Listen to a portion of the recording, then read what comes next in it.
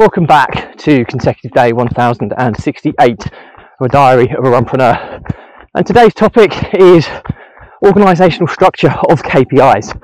So um, please remember to give this a subscribe, share, like, and comment. As the more people we get in front of, the more money we raise on my fundraising mission to save the lives of children by attempting the ultimate ultramarathon. All the information about the challenge taking involved is in the link in the comments below.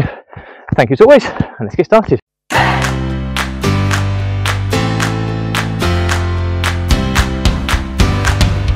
So, consecutive day 1068 of a diary of a runpreneur. And today's topic is an organisational structure of KPIs. So, um, first and foremost, if you don't know what KPIs are, they stand for key performance indicators. Okay, and um, in entrepreneurial or business terms, basically they are the most important metrics that allows you to monitor and see how your business is performing. So, as a an easy example, if you worked in a sales team, your key KPI or, K, or key performance indicator might be number of sales or it might be sales revenue created, something like that. So it just would give your manager a, an indication of how you're doing in your role. So that's a really super simplified example. Obviously, you can go, you can get KPIs in every single department, every role of your business.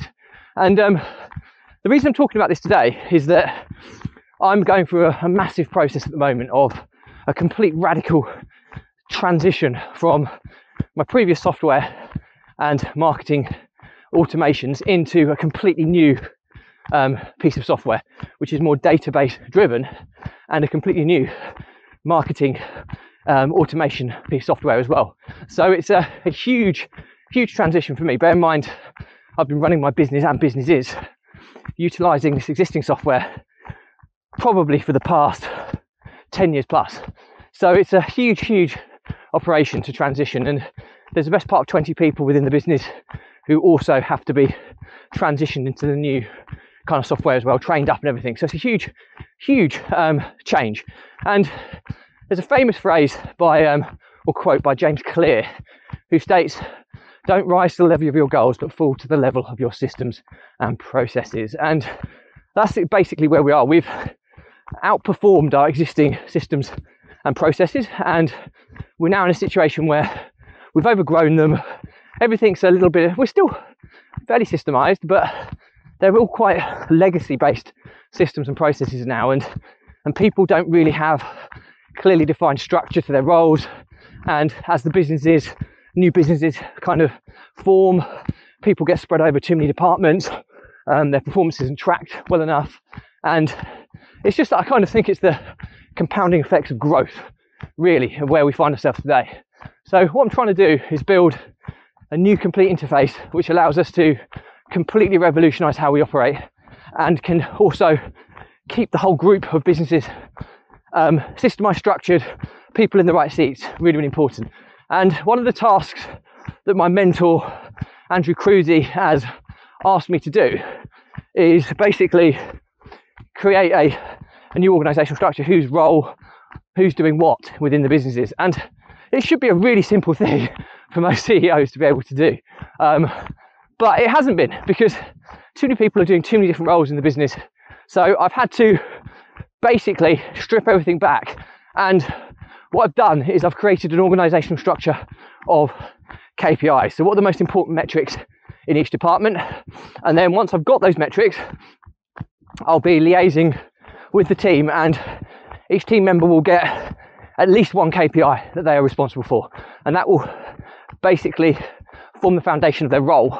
And off the back of that KPI, what are the, the metrics, what are the, the daily activities, weekly activities they're going to have to be doing in order to impact that KPI. And we're going to build out the whole team from that. So there's lots of different kind of metrics I'll be uh, monitoring here based on how well the team performs, making sure they're in the right roles, etc. And the way I've kind of done it, I've reverse engineered it from what are the most important metrics I need to see, and then I'm applying the relevant person to that metric and that role. So um, that's what I've been doing today, and it's um, it's really quite intense and you you know it's a lot of concentration needs to go into this because obviously you can change things as you grow, but the more I get right now, the easier that transition is going to be. So um, yeah, huge headache, and I think ultimately the uh, I'll keep you updated on how this goes. I do have the framework near enough done now, and tomorrow I'll be starting to look at who's going to do what role. I'll be liaising with each team member to make sure that they're comfortable with taking on that role, and um, once I've got that in place, the the joys of transferring everybody to a new setup and training them and onboarding them will commence. So, um, so yeah, that's kind of where we are. Um, I, it's in process, so I can't really go too much further than what I've said today already. But what I will say is that the moral to the story today is exactly this quote, and I will draw upon this quote multiple times throughout this vlog because it's something that I strongly believe in. Don't rise to the level of your goals, fall to the level of your systems and processes. But most importantly, identify when you've outgrown your existing systems and processes and put that right. Um, I always talk about the three most important pillars of any business that I get involved in. I'm looking at the systems and processes, I'm looking at the data and reporting, and I'm looking at the people. And I can tell you now, if I get those three things right in any business, that business will scale, grow, be systemized, and sustainable. So, um, this is why systems and processes and data are so important, and then mapping the people to the right role. So, um, that's the journey I'm on at the moment. I'll keep you posted on how this goes. I'll also talk to you about how structured each business is going to be in order to grow and succeed in later episodes. But that's it for me today. Any questions or comments, drop me a line.